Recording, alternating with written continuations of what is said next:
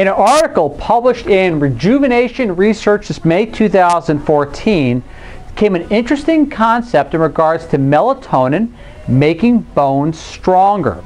Now this is what happened. They've connected melatonin with osteoporosis. What they discovered is that you have something called your circadian rhythm.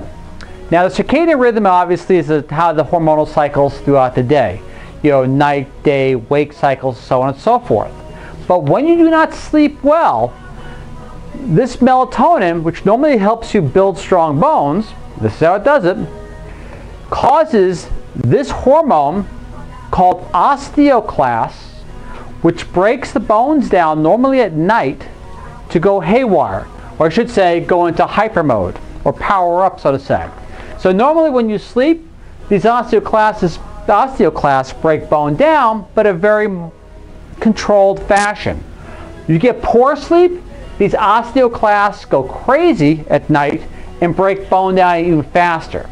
Which in the antithesis of that, you have your osteoblast. I know you think about it, you see the word blast, and you don't think that blast means build bone up, but it does.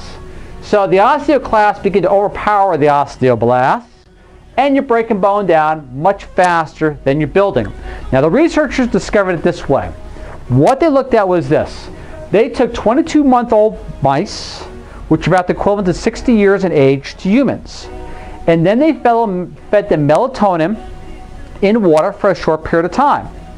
And what they noticed between the melatonin group of mice and the non-melatonin group of mice in regards to the bone is the group of mice or rats that were getting melatonin and sleeping better because their circadian rhythm was good, their bones were a lot tougher to break.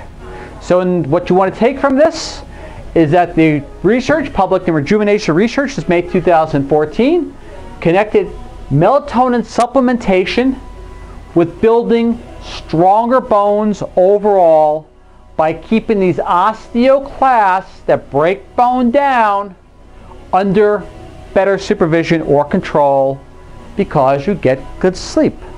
Well, that's it. Ralph Turchiano, thank you very much.